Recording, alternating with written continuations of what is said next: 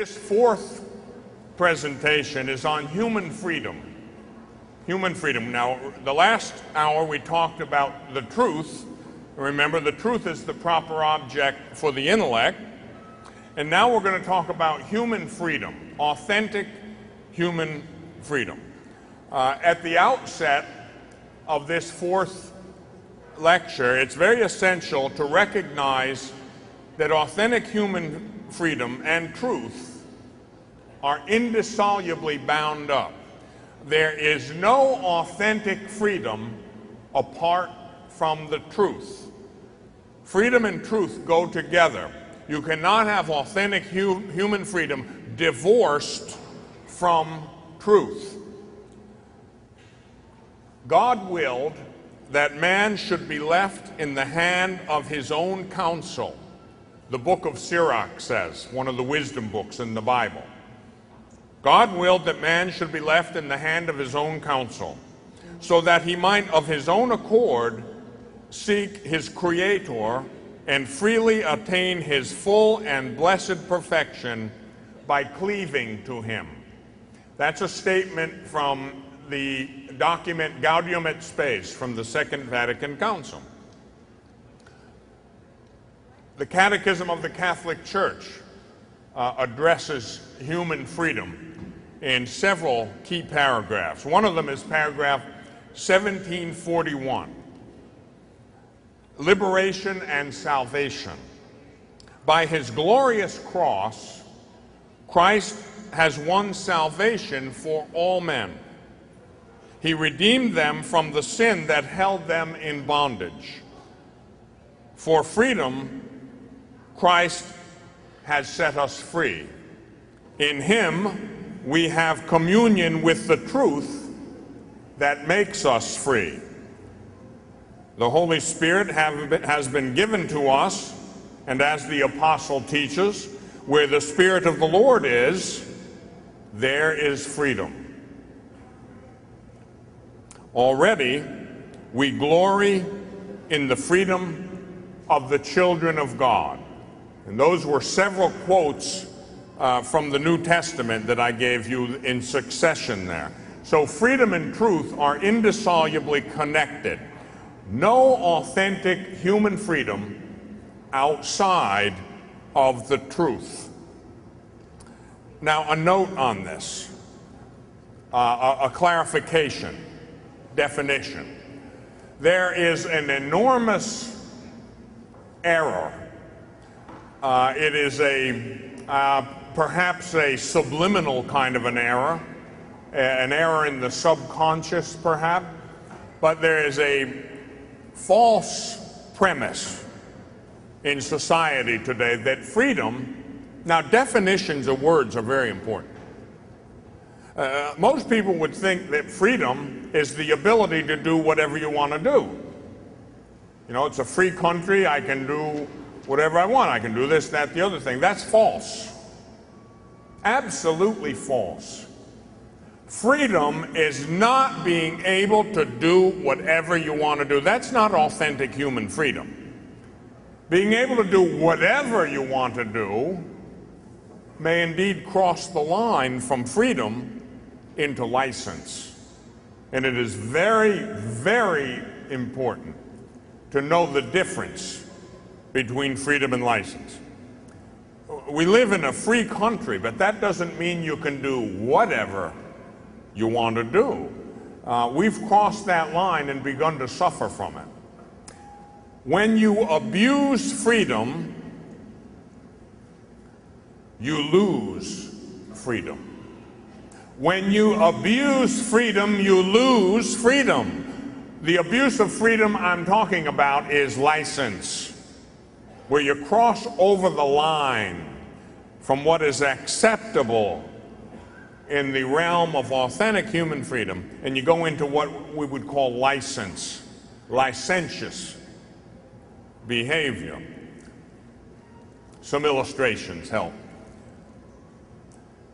We say we live in a free country, and I say, that's right, we're in a free country, we're free. I got to be free. I got to be me. And my truck is getting old. Therefore, I'm going to go out in the parking lot and find the best four wheel drive truck I can. I'm going to drive it back to Montana. It's a free country. right? Free country. If freedom means doing whatever you want to do, I'd steal your truck. And you say, wait a minute, that's not freedom. Right, it's not. That's license. That, I, I know it's not rocket science, but that underlying false premise gives rise to a host of evils. Uh, some example of those evils. Under the specious pretext of freedom of expression, pornography becomes legal. Believe me, when the law of the land says pornography is okay, that undermines law. And that is not freedom, that is license. And it is destructive. And it leads to the loss of freedom. The man who sins, Jesus Christ says, the man who sins becomes the slave of sin. And I'm here to tell you that millions of people in this country and other countries are slaves. They're slaves. Pornography, just to use an example, pornography is every bit as addictive as heroin and just as destructive. It destroys families, destroys relationships, destroys marriages. It'll destroy the country. You let it go on enough. Do you know what the word pornography means? I, I, I tell, I say this to people all over the country. And it always gets a, a, a reaction. Words are important. It is good to know what words actually mean. Now, that word pornography is made up of two Greek words. The first, porneiroi. The second, graphia. Porneiroi, the devil. Graphia, pictures. Literal definition pornography, the devil's pictures. That's the exact and literal translation of it. And that's exactly what it is. You mess with the devil, you end up enslaved to the devil. And he's a cruel master. He will destroy your marriage and your life. He will rot the very fabric of your humanity and reduce you to garbage if you let them. If you let them. Don't let them. Now, you see, that's an example of, of dull witted people. That, that's an example of legislators or judges who don't know what freedom is. They don't apparently understand the difference between freedom and license. They cross the line and they're now contributing to the loss of freedom among millions of human beings. Abortion. Oh, well, this is a free country. I have a right to choose. Indeed, you have a free will, you say. Therefore, you have a right to choose. It's the only case in all of language that I know of where they don't finish the sentence. A right to choose what? You know, think what are you saying? I have a right to choose to kill my child? Are you out of your mind? You must be. You must be insane. And the politicians and judges who facilitate it, enable it, fund it, and confirm it are equally out of their moral, rational mind. They have lost it. That's not freedom. That is license. Use your basic common sense. You know, I, I, I, was in a discussion with a radical feminist one time. That was an event.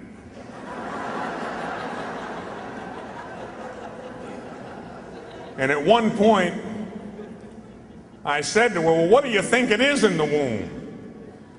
And at that point, uh, she, I had had about six questions she couldn't answer. They, ne- they really never can. They think they're intellectual, but they're not. They're emotional. And their argument is never intellectual, it's always emotional.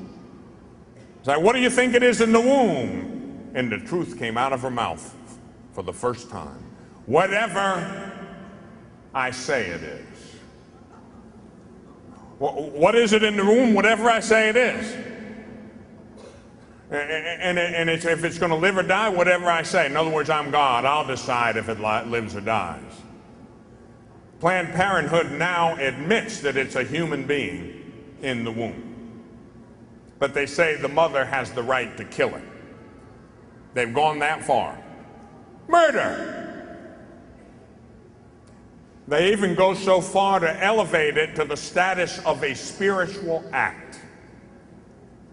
Oh, yeah. Some senior officials in Planned Parenthood have said it's a woman's spiritual right to do away with the child. Many years ago, Archbishop Fulton Sheen was on an airplane during Lent, flying to do a mission. And the flight attendant brought lunch, and Bishop Sheen said, ah, I think I won't take lunch today. It's Friday, Lent. I could do a little fasting. So the, there was a very nice looking young lady sitting next to him. She said, I won't take lunch either. And he said, Oh, are you Catholic as well, fasting for Lent? She said, No. In, in an incredible moment of clarity and truth, she said, No. I'm a witch fasting for abortions. And in the next two hours, she went on to tell him things that he never forgot about the battle between good and evil and how in that battle God permits things that we would never imagine that He could possibly permit. Why would God ever permit horrible evil? To bring a greater good out of it. That, that's why. And, if you want to know about that, I wrote a doctoral thesis on that subject. Look right there in a crucifix. That's a paradox, not a contradiction, it's a paradox. The greatest evil and the greatest good. The greatest evil, deicide creatures murder the Creator. Jesus is the word through whom the universe was created. They nailed him to a cross and killed him. And yet it's the greatest good, the good of redemption. That's, that's a paradox. Why? Did God our Father permit that? Absolutely. He did. He willed it. Why? To bring a greater good out of it. What's the greater good? Redemption. Now, in this life, we often can't see the greater good. 9 11, when that happened, I, I, I was shocked, but not surprised. I'd been talking about things like that for years, basically saying it's going to happen, it's got to happen. God will have to apologize to Sodom and Gomorrah if something doesn't happen, in plain English. So when that happened, I was not surprised. Oh, shocked, outraged, but not surprised. And let me tell you something, as clearly as I can, in as unvarnished a way as I can, in your face truth as I can. If we don't wake up, morally speaking, if we don't straighten out, morally speaking, if we don't do something relatively fast to get rid of this incredible crime against humanity, called abortion and partial birth abortion, 9 11 will look like a picnic in the park compared to what's coming. Because a dirty bomb in the middle of Manhattan is child's play with today's technology. I have a lot of friends in the anti terrorism task force all around the country. And there have been things that if you knew these things, I'll tell you what, if the general population knew what's gone on in the last five years and how many serious plots have been disrupted, well, I'll tell you one, out in Los Angeles at LAX, you know, Los Angeles International Airport, out on one of the far off runways, they found the original crating of a, of a Scud missile and burn marks on the runway. They had attempted to fire them. Now, that's a surface to surface missile. That's not a surface to air missile. That's not used to shoot down a plane. Surface to surface. They had pointed it into downtown Los Angeles and attempted to fire it. It misfired. And it was only the grace of God that prevented a, an unbelievable catastrophe. And there are at least a dozen more just like that incidents. You know, near misses. They have dozens of these people that they've caught doing these things. Uh, you say, well, I didn't read about that in the newspaper and hope to God I don't, and you don't either. If we're that stupid to publicize every little thing they do, well, let's just, you know, we'll all be speaking Arabic by, you know, two, three more years. Why is this happening? You reap what you sow. Tens of millions of abortions aren't going to win you God's favor. You know, they, they, they, we don't want the Ten Commandments in public places, separation of church and state. That's not what the founding fathers said. That is a lie right out of hell. The founding fathers wanted separation of church and state in this way. They didn't want a state church. Why? They came from England, you remember, the Church of England. They had one religion, and you better belong to it. They had that experience. No, they didn't want a state sponsored religion. No, that's bad. We don't want that. They wanted to keep one religion from being the official religion of the country. That doesn't work. And they wanted to keep the state out of the affairs of religion. That's the authentic separation of church and state. They had no intention of evicting God from all public places and from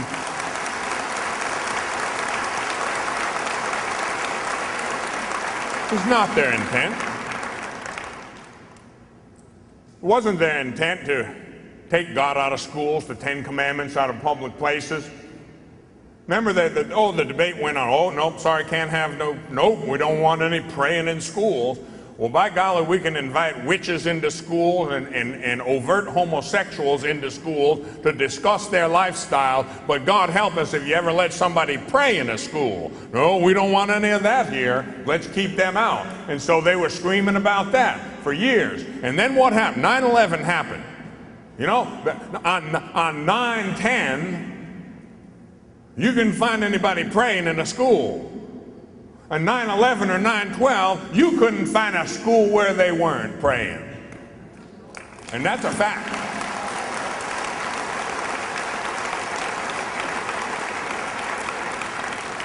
Oh man, the intellect gets darkened and the will gets weakened very quickly. How weak we are. Well, sometimes in plain English, it requires, uh, you know, some people like to take the easy way out. Sometimes people like being stupid.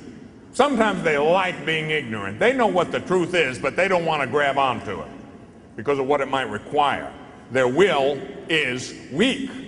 And so they don't do it. No, we don't want this. No, we don't want that. You know what is better than anything else that I've found for people who have a serious problem of being focused on reality? A good old fashioned butt kicking.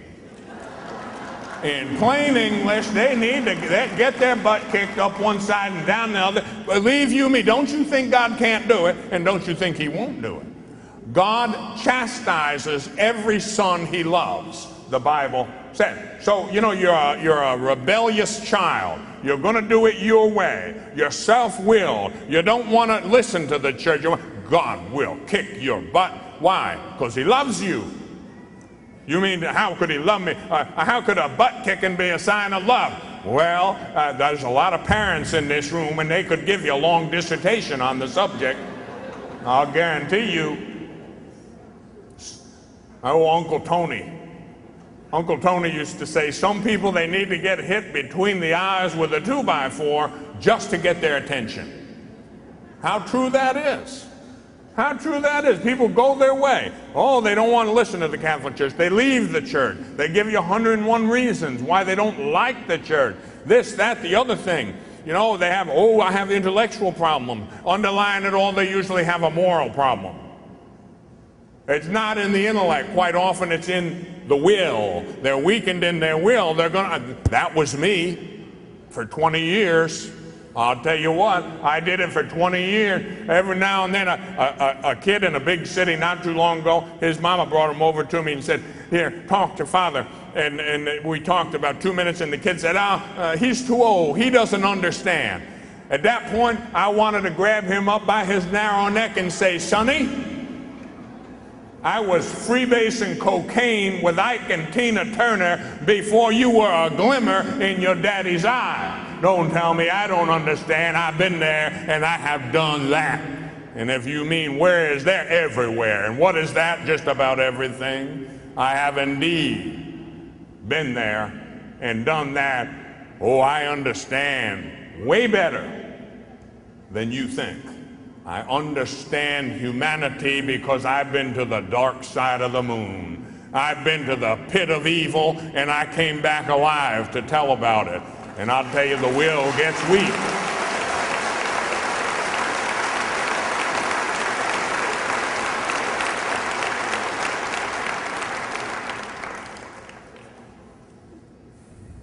St. Paul said, For you were called to freedom. You were called to freedom, brothers. Only don't allow your freedom to be a cloak for vice.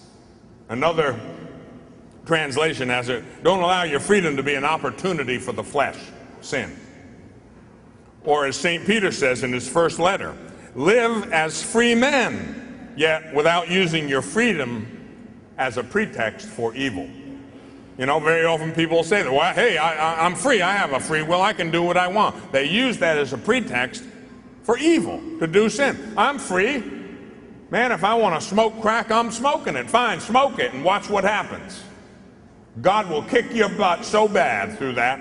Man, these people don't know what they're doing. You, you want to smoke that stuff? I, I'm going to tell you something. I once watched major drug dealers bring in a satanic priest to say a black mass over cocaine to curse it. You know what happens? You know what happens with holy water when we get holy water and the priest blesses it? You say certain prayers over the holy water to bless it. And in the old days, the prayers were exorcism prayer. And wherever that water was placed, an exorcism was brought into being in that location. Same with blessed salt or blessed oil. Well, there is a reverse in the order of evil. And they, they have their prayers. They'll say certain incantations and verses. Usually they read them backwards over the material. It's the sacramental principle. You have the words and the material. Holy water, you got the water and the prayer. The Satanists, they got the material 100 kilos of cocaine, and they curse it. And you wonder why people not only lose their physical health, but their mind and their soul. That's part of the reason. Oh, I understand. I understand way better than the average human being understands. I understand way better than the average drug dealer understands. The will is, quick, is quickly weakened there's a mystery, a mystery of this free will business. St. Paul talked about it. we get a lot of our theology from St. Paul. This is a key verse. Listen to this from Romans chapter 7 verse 20 or verse 15 through 25. Listen to St. Paul. Uh, sometimes I do not even understand my own actions, for I do not do what I want but I do the very thing I hate. Now, if I do what I do not want to do, I agree that the law, the moral law, must be good. So then it is no longer I that do it, but sin which dwells in me. Now that requires some explanation. That, that's not a way out, you know, to, to shirk responsibility. But so the, the, the key is For uh, although I, I, I, I want to do what's right, I find that often I don't do what's right. That's the mystery of free will there at work. Now, as somebody who has been there and done that, I can tell you that a, that a moment can come in, in the life of a soul where the soul is sickened by its own actions. You know, a person can do this, that, or the other sin. They can commit sexual sins. Uh, perhaps they can abuse their bodies with alcohol or with drugs. In a, in, a, in, in a moral way, in an interior way, it sickens them. After a while, they come to hate what they're doing. And ultimately, the vast majority of people doing these things have a death wish. They really do. The vast majority of people who get addicted to cocaine, heroin, at some point, they lose the will to live. I mean, I did. I didn't care. Uh, my mother used to say to me, uh, uh Don't you know you, you're, hurting yourself? You're killing yourself? Don't, don't you know this or that is bad for you? Um, I remember one time mom said to me, I, I don't know what I had done. Uh, one of the, uh, the, the umpteen many things that, that I had done when I was a teenager and, and, and having, you know, used up all the available brooms, broken over my back. She said, Doesn't your conscience bother you? And I said, No. And it didn't. Why? I had killed it. I had killed my conscience. Do you know that you can kill your conscience? How do you kill your conscience? You don't listen to it over an extended period of time. Uh, it's kind of like I grew up in upstate New York, you know, over in Hudson, New York.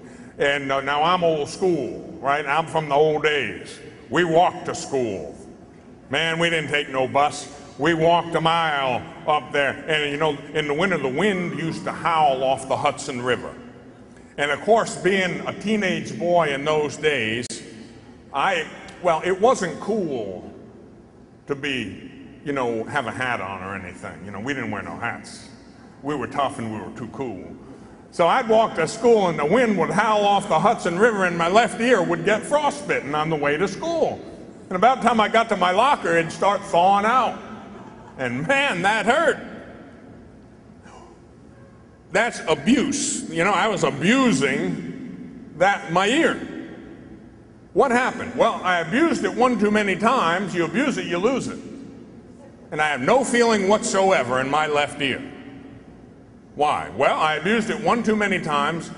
It, it, it no longer had the ability to do what it, it, was created. There was no sensitivity in it. You know, I couldn't feel anything. You get your fingers frostbitten one too many times. Now, that's not what your fingers are made for. Not made to get frostbitten or stick them in a fire. You know, what happens? The nerves get killed. Can't feel anything anymore. You abuse your conscience one too many times, it doesn't work anymore. It's dead. Dead. You can kill your conscience. You can abuse your free will, and you can end up a slave. It's a terrible, terrible thing to be caught in the slavery of sin. You get to a point, and maybe some action of grace. You know, maybe you got a mother praying for you, a grandmother praying for you somewhere. You know, well, you're out there just running amok. You know, you're, you're just doing what you want to do. You know, the battle cry of my generation back in the 60s and 70s I got to be free, I got to be me. And man, then you go do whatever you want to do. You know, drink drink another gallon of bourbon and, and you know, smoke some more dope. And pretty soon, you lose it completely. And you're caught in slavery. And you can't get out if you wanted to.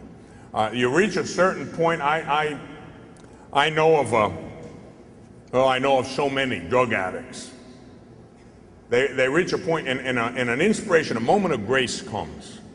Probably a lot of moments of grace. You have a chance to turn away from that because it's been making you sick for a long time. Might be pornography. Now, I'll guarantee you there's a bunch of people, good as you are, Catholic and Christian as you are, there's a bunch of people in this room addicted to pornography. I'll guarantee you that.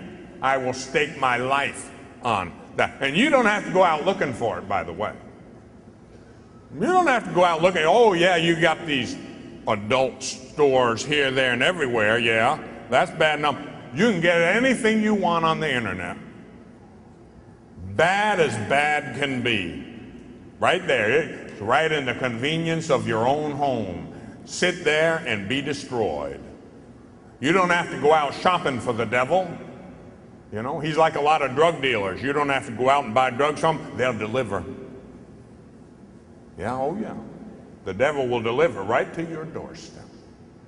Millions of people are addicted to all kinds of dangerous and destructive things, and at a certain point, it sickens them.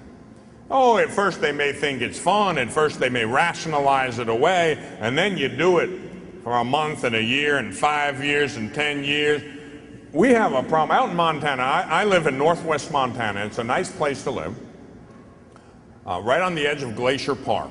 Very beautiful, mountains, magnificent place.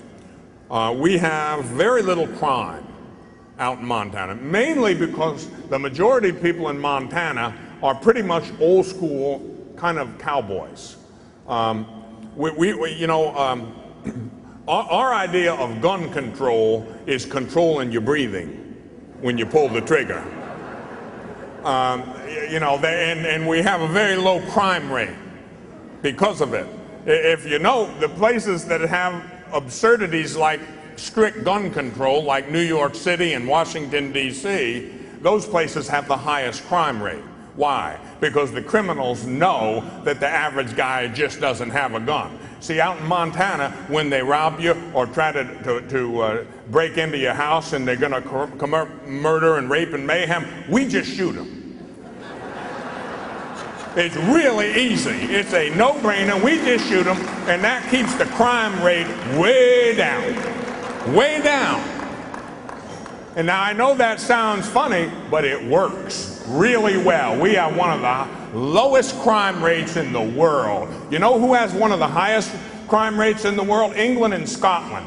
Where if a man breaks into your home, not only can you not have a gun, you can't even have certain kinds of knives to defend yourself instead, oh, you have one of them knives that's sharp on both edges. The guy can sue you for his injuries. Now that's stupidity. That's true stupidity. All kinds of threats to freedom. In a key verse in the gospel, Gospel of John, chapter 8, verse 31 and following, Jesus then said to those Jews who had believed in him, If you remain in my word, the truth, you will truly be my disciples. Now, note what he says. If you remain in my word, you will truly be my disciples. And then you will know the truth, and the truth will set you free. And they answered him, Well, we are descendants of Abraham and have never been uh, enslaved to anyone. Man, that was a big lie. What about Egypt? For one thing, and there were a couple other instances too. We are descendants of Abraham, never been enslaved anyway. How can you say you will become free? And Jesus said to them, Amen, amen. I say to you, everyone who lives in sin is the slave of sin. A slave does not remain in a household forever, but a son always remains. So if a son sets you free, you are truly free. If you are truly my disciples, you'll abide in my word. That's a condition. In order to be his disciple, you have to abide in his word. In other words, obey his commandment. Do what he says. Live the way he says to live. Then you're truly his disciple, and then you will know the truth. No, there is a precondition for being able to know what the truth is. Have you ever wondered why so many people just don't get it? they haven't met the precondition. They're not abiding, living in, in God's Word. And so what happens? They're absolutely blind to truth. They can't see it. They can look and they can look and they can look and they'll never see it. Why? They are blind. A blind man can't see. Sometimes we get upset. Can't you see it? No, blind man cannot see. You know, they, they can't hear you talk and talk and talk and talk until you're blue in the face and you think, man, I gave a quite an articulate exposition of the doctrine of the faith, and this guy just don't get it. Why doesn't he get it? He's deaf. He's deaf. Why is he blind? Why is he deaf? And why is he dead? Because he's not abiding in the word of Jesus. And so he doesn't have the truth. He doesn't know the truth. And what happens? He's a, he's a slave lives in slavery. I've seen the extreme examples. Now, many of you have too. Many of you have seen it. You go a, one, you go a step too far with sin, and one of the worst consequences of sin is the slavery to sin. It's hard to break away from it. You know, that, that can be sexual sins, that can be drugs, that can be alcohol, that can be stealing things, all kinds of things. And you're enslaved, and after a while, it makes you sick. Gosh, I've had hundreds and hundreds of people tell me how sick they are of their sins, and they want to get away from them, but they have such a difficult time. It's difficult. They, they can't break free. Man's freedom is limited and fallible. In fact, man has failed. He freely sinned in the beginning. By refusing God's plan of love, man deceived himself and became a slave to sin. I'm reading to you from the Catechism of the Catholic Church, paragraph 1739. By refusing God's plan of love, he deceived himself and became a slave to sin. This first alienation engendered a multitude of others. From its outset, human history attests to the wretchedness and oppression born of the human heart in consequence of the abuse of freedom. That's worth repeating. From its outset, human history attests to the wretchedness and oppression born of the human heart in consequence of the abuse of freedom. If you abuse freedom, you risk losing freedom. The abuse of freedom is sin. And when you abuse freedom and sin, you risk becoming the slave of sin. You guarantee it if you keep it up. Now, let me tell you uh, an enormous uh, difference, uh, a very key um, distinction that we should make. Anyone can sin, okay? We know that. Anyone can commit a sin. You can sin, I can sin. When, when, when the day comes and you think that somebody, whether it's your wife or your husband or your pastor or me or, or anyone, when you think they're beyond sin, watch out.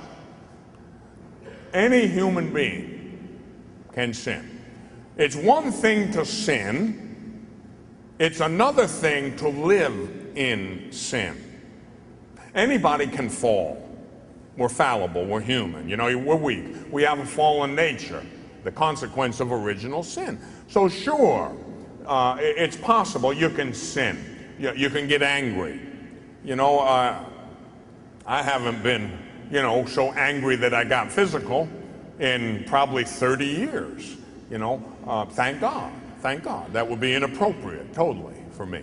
Uh, but there have been a couple of occasions where I came that close. I mean, and you know, I, I, it could happen. Believe you me, uh, you know, one time at a conference like this, uh, somebody, some guy who, who either was not all there in the head or maybe motivated by the devil somehow, he grabbed me right by the throat in a very violent way, and the old me came out. Oh, it was not good. It was not good. Now, I, I didn't, I didn't, I didn't um, floor him. I didn't choke him. I, you know, some, some people grabbed him, and that was the end of that. But we can sin. I could have sinned. I could have hooked him and, and put him right on the ground. I, I could have done it. I didn't. Thank God I didn't. I'm glad I didn't. But I could have sinned. You know, anyone can. That's one thing. It's another thing to sin and not repent, and then sin again, and then sin again, and live in sin. That is a profound difference sinning and living in sin. When you live in sin, boy, you're asking for it. When you live in sin day in and day out, like millions of people do, where they don't repent, you know, they'll commit sins, sexual sins maybe, you know, sins of violence, they do it and it becomes a habit. And they keep doing it and keep doing it and they get enslaved to it. Then you are open season. The devil is given special permission to exercise authority over you at that point and often does. Uh, people who don't believe this should have been me, with me on many an occasion. Uh, uh, believe me, uh, demonic possession is highly unusual, but demonic obsession is enormously common. And I have seen it in every state, every place I've been. It is very, very common. How does it usually happen? Sin. People sin and sin and sin and live in sin and never repent and keep going, and it's a way of life, and they open themselves to all kinds of evil and become enslaved. Well, we've got threats to freedom, a lot of, a lot of threats to freedom. Let me read this to you. The exercise of freedom does not imply a right to say or do everything. It is false to maintain that man the subject of this freedom is an individual who is fully self sufficient and whose finality is the satisfaction of his own interests in the enjoyment of earthly goods. Uh, that's from the Congregation for the Doctrine of the Faith on the freedom of conscience, number 13. Moreover, the economic, social, political, and cultural conditions that are needed for a just exercise of freedom are all too often disregarded or violated. If we were able to see reality such as it is, the law, for instance, that permits unbridled pornography, if we were able to see how many human beings that hurts, spiritually speaking, uh, how it, it, it hurts their soul and maybe puts them in hell. If we were able to see that, we'd be scared to death. Now, the people in society who facilitate that, who enable that, who promote that, will have much lower places in hell than the people who fall victim to it through weakness. Just like the poor woman who has an abortion oh, maybe, maybe, maybe she's uh, just selfish or this, or maybe, maybe she's scared. Maybe she doesn't really know. Maybe she's been pushed by her boyfriend or her family or her husband. I, I, I don't blame her a whole lot. I mean, she shouldn't do it, and uh, you know that's, that's a horrible thing. But I don't. She's not in the same category as the public officials who promote it and push it and fund it and drive it and make it an everyday part of life and who become responsible in part for millions of such atrocities against humanity. So there are threats to freedom, no question about it. Uh, and there's a you know there's an association between liberation and salvation. By his glorious cross, Christ has set us free. He has won salvation for all mankind. Uh, we were in the bondage of sin, and Jesus set, his, set us free. Jesus says in the Bible, I have come to set the captives free. Now, about a dozen times today, and it happens every place I go, people say, What's that pin that you're wearing uh, on your jacket there, Father? Uh, is that the pin of your religious order or something? And it has Latin writing on it. And so they figure for sure it's a church pin or something. It, it, it says on here in Latin, de oppresso liber, to free the oppressed. That is the emblem and the, the insignia and the motto of the United States Army Special Forces.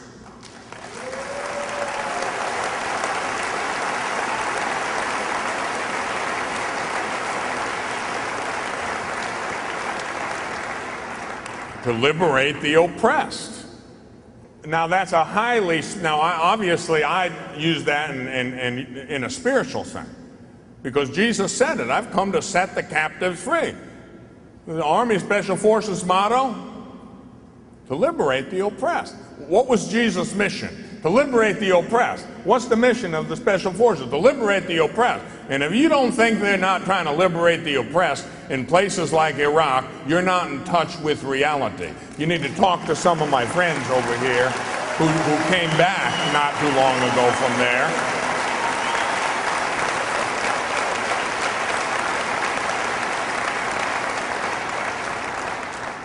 I, I mean, you know, we're Americans. And we've always been this way. You know, my grandfather was very proud that he was a sergeant in the United States Army during World War I. And my father was in the Navy during World War II. Some of my cousins were in Korea.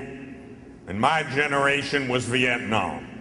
And after that was the first Gulf War, and then the second war, and then the, there were any number of other places in Eastern Europe, in Africa? Are we trying to conquer the world? No, we're not. De oppresso liber. It's very biblical. It's very Christian. To free the oppressed. If I know that someone like a Hitler or a Saddam Hussein is sawing people's legs off to torture them and to maintain his grip on his power, and I turn my back, I am not Christian. I am a poor excuse.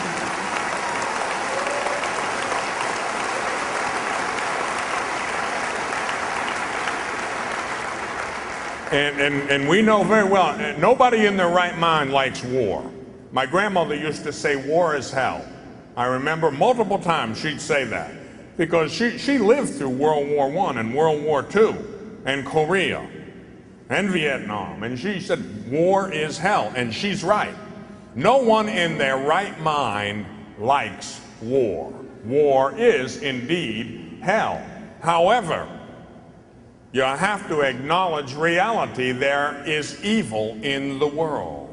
And from time to time in the course of human affairs, evil men rise up, seize power, and inflict horrible outrages on humanity. Hitler was one of them. You know, I, I what, what, do you think? We, what do you think the world would be like today if we say, oh, well, we'll just talk to Mr. Hitler. We'll just be nice to him, and he won't bother us. Man, wake up.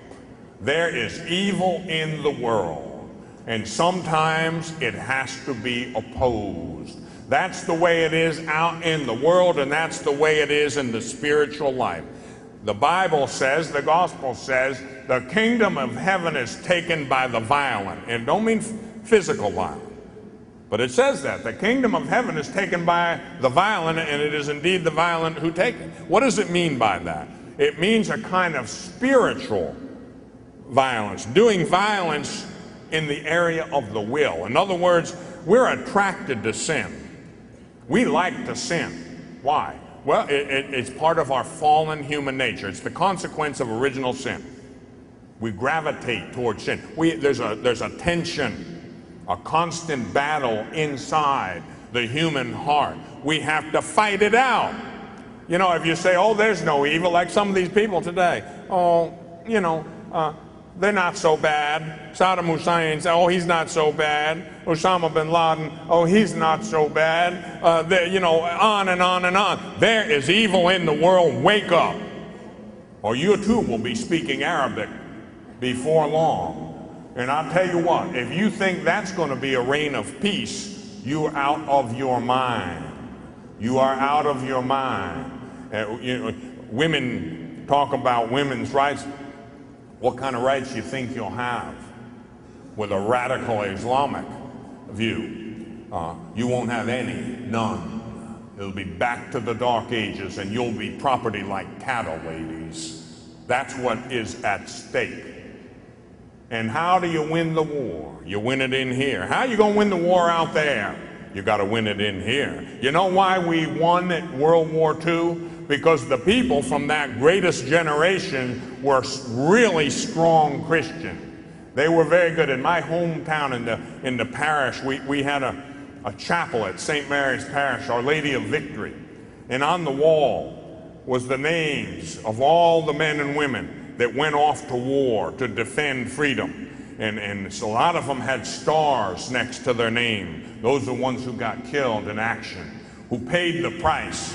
And freedom has a price out there and in here. Oh, war is a terrible thing, a horrible thing, but not the most horrible of things. Far worse is that reality of people who think nothing is worth fighting for. People who won't stand for anything. People who aren't willing to sacrifice and pay a price for freedom. Oh, that's much worse than war. That decadent, sick reality that exists in so many people today. Nothing is worth a fight. And so it is only through the exertions of far better men and women than, than, than themselves that they are made free, set free, and kept free. That is a reality out there in the secular world, and it is a reality in here in the church. Freedom has a price. And it is only through a lot of blood, sweat, and tears that human freedom is achieved and kept. Life is dour combat with the forces of evil. But if we fight the good fight and run the race to the finish line, we know the last chapter of the book, we win.